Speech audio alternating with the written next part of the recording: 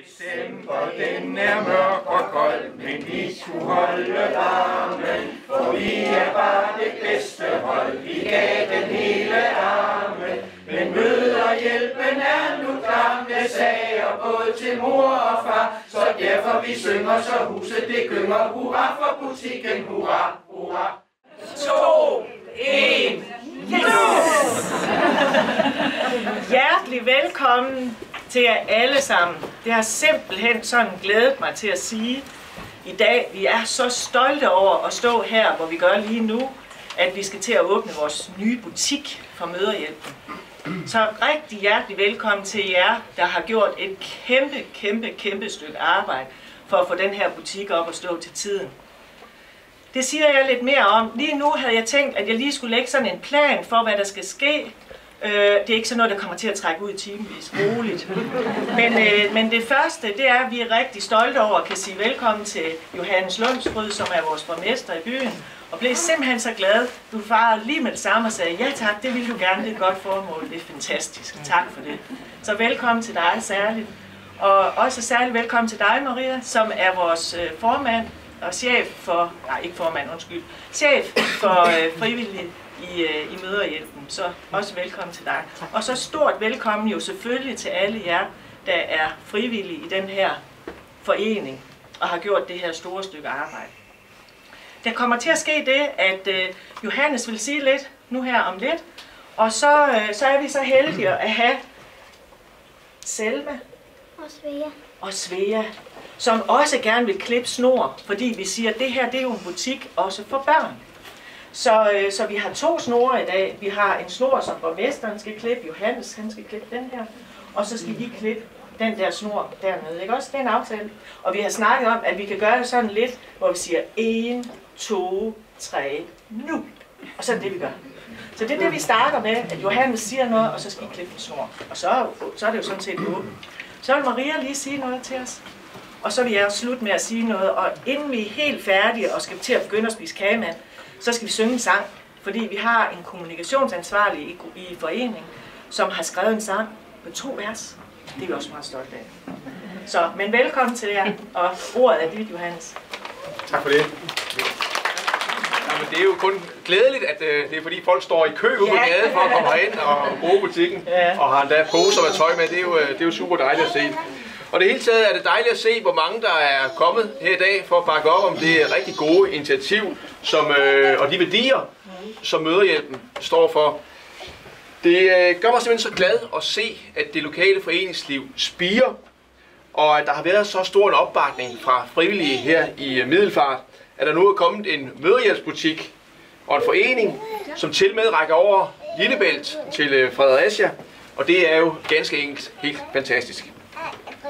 Alt det arbejde, der lægges i Mødehjælpens lokalafdeling her i Middelfart og i butikken, er jo baseret på frivilligt arbejde. Det er mennesker, der gør det muligt. Det er jo jer, der i virkeligheden gør det muligt, at der fremover vil være forskellige aktiviteter og muligheder i Middelfart, som kan gavne familier, og måske i særlig grad gavne nogle af de familier, der har det sværere end andre.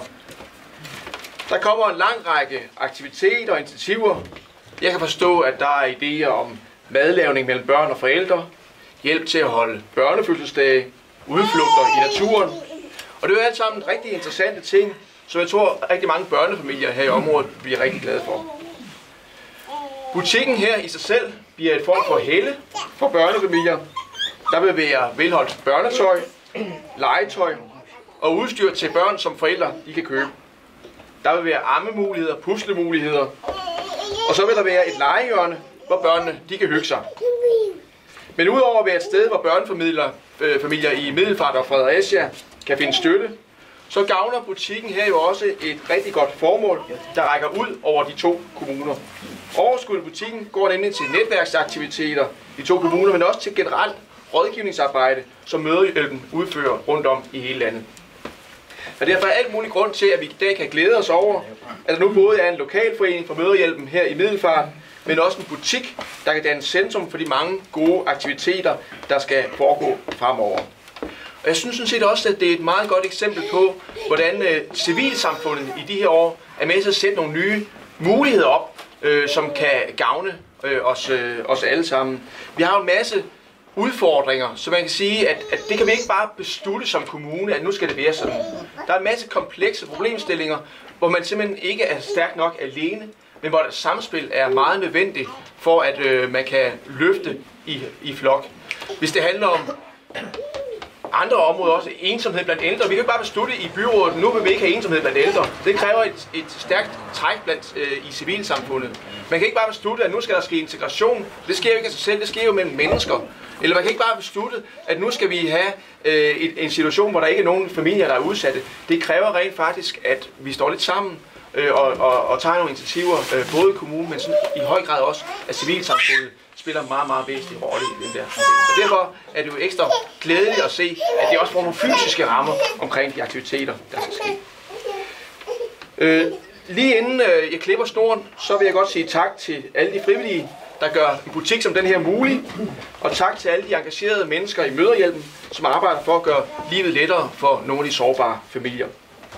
Og så tror jeg, vi er nået til der, hvor... Er I klar til at klippe? Det er godt. Super.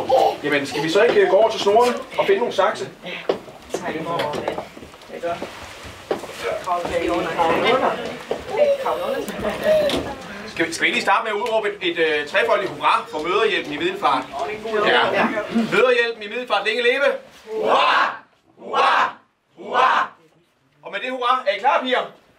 Så, tæller vi, så skal vi til at klippe. Ja, samtidig. Ja. Ja. Og så tæller vi. En, to, tre, nu!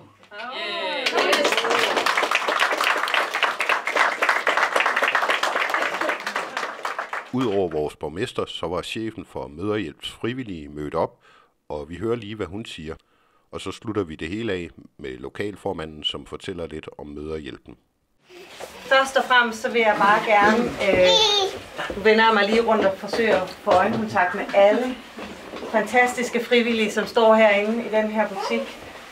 Tusind tak øh, for jeres indsats, og et stort tillykke med det her flotte, flotte resultat, som vi står i lige nu. Øhm, det her med at lave en butik, øh, det er en ret stor bedrift. Øh, den er også større, end når man lige sådan sidder på papiret og snakker om, hvordan man lige, og så kom det og det og det. Det er en rigtig, rigtig øh, sej opgave, og det, at vi står her i dag, det vidner om øh, rigtig meget af det, som jeg sætter pris på i mit daglige arbejde i Møderhjælpen, når jeg arbejder med frivillige. At der er dedikation, og der er handlekraft, og der er hjertet på det rette sted. Og det øh, er I alle sammen, der står herinde, som har været med til at stable den her butik på benene. Øh, vidne om, at øh, I er nu frivillige i Møderhjælpen, øh, og det her, at vi står her i dag, er en rigtig stor ting. Øhm, at vi har en butik i Middelfart, betyder jo ikke kun, at øh, nu kan vi få lækkert børnetøj til nogle fornuftige priser. Det betyder også, at I er den her synlighed udadtil i dagligdagen, til de familier, som vi arbejder med i øh, Møderhjælpen. Familier, som på øh, af forskellige årsager står i en sårbar situation. Øh, det kan være alt fra, at man har fået barn nummer to, og det er overvældende, til en skilsmisse, øh, til langt øh, mere alvorlige øh, problematikker, hvor vi oplever vold i familier. Øh, alle de her ting er I med til at støtte op om og hjælpe de her sårbare børnefamilier til igen på forskellige vis at komme på rette vej. Det er rigtig, rigtig vigtigt, og det skal I have tusind tak for, at I stiller op for.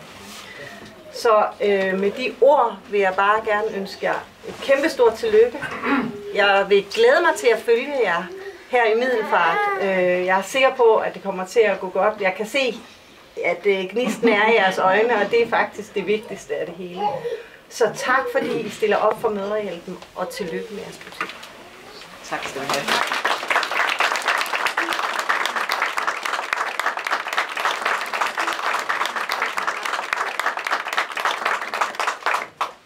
Tak, Maria, og det gør altså også rigtig godt altså at høre, at det bliver anerkendt, alt det arbejde. Der er lagt rigtig meget arbejde ja.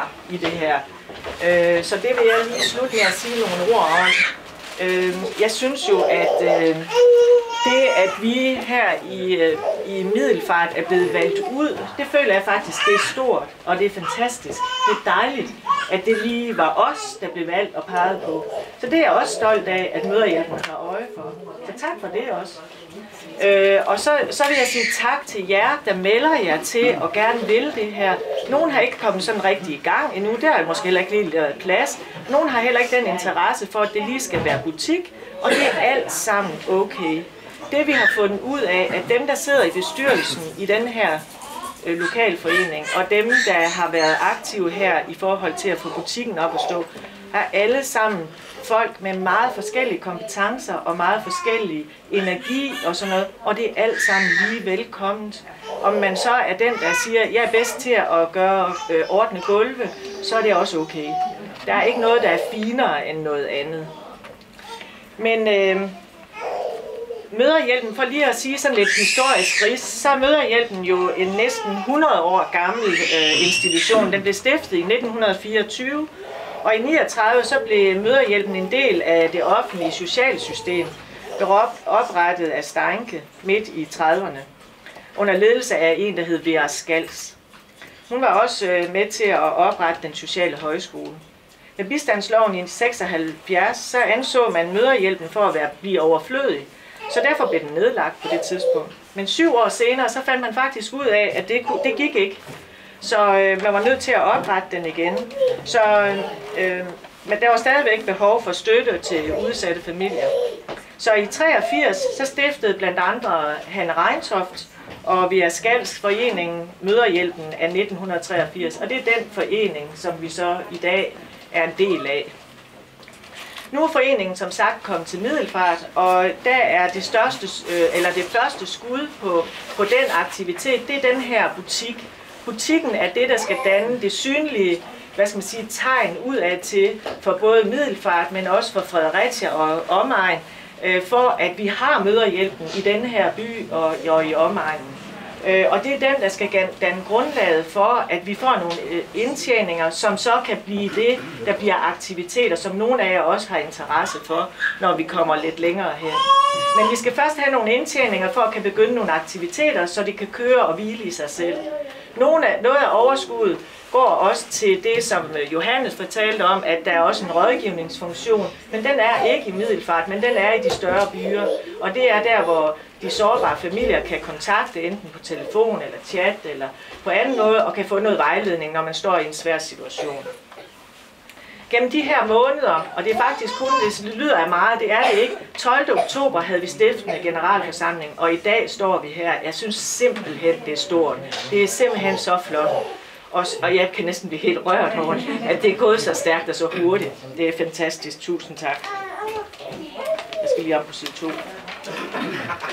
Øh, I den her forening, der er der som sagt mange aktive, rigtig aktive frivillige. Øh, og med forskellige kompetencer, som jeg sagde noget om. Og det er så lykkedes på rekordtid at få sådan en forretning op at stå der er med risiko for at glemme nogen og ikke fremhæve nogen, så har jeg valgt at fremhæve to, som har gjort et kæmpe dagligt arbejde i den her øh, forening og med at få forretningen op at stå. Og den første, det er Lars Mulleskov, han står og filmer og har slet ikke tid til at tage imod en herrebuket. Men uh, Lars, du skal have tusind tak for det store arbejde. Du har haft noget med lys og sådan nogle ting at gøre, og de kompetencer, du har på den. Øh, på den. Er det den anden Lars? Ja, det er ikke den Lars. Nå. Mulleskov. Hvor er Lars? det er fordi, der er to Lars. I må dele. I må dele. Ja. Lars Mulleskov, du har haft med lyset at gøre, og har, har gjort rigtig meget ud over det. Øh, med de kompetencer, du har, der har du også bidraget rigtig gevaldigt til, at den her butik kan blive åben i dag. Så tusind tak. Velkommen. Og så, ja, og så vil jeg fremhæve Tove, som er vores butiksansvarlige. Og du har om nogen bidraget til, at den her butik står her og er åben i dag, som den er. Tusind tak for det. Hvis ikke det var for dig, så har vi ikke øh, haft det åbent. Ja.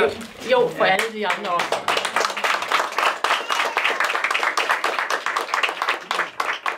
Tusind tak. tak. Øh, det er nu for alvor, at vi går i gang med at sælge og bidrage til at, at trække nogle indtægter til den her øh, forening. Øh, og det er overskuddet herfra, der går til det, jeg har sagt, at øh, det går til familier i sårbare situationer, og det går til, øh, til overskuddet også til rådgivning i møderhjælpen. Øh, med de her ord, der vil jeg gerne erklære for butikken for åben, og vi skal synge en sang, som øh, Lars har, har kreeret til os. Det skulle du egentlig også have haft en blomst for, Lars. Jeg kan kigge to og to sammen. Badum, badum, badum, og sparke, brak og lego klods. Vi langer over disken, så meget andet dejligt gus, og nok en lækker bisken. En krog, det skal vi også have, hvor lillebror kan få lidt fat. Så derfor vi synger, så huset det gynger. Hurra for butikken, hurra, hurra.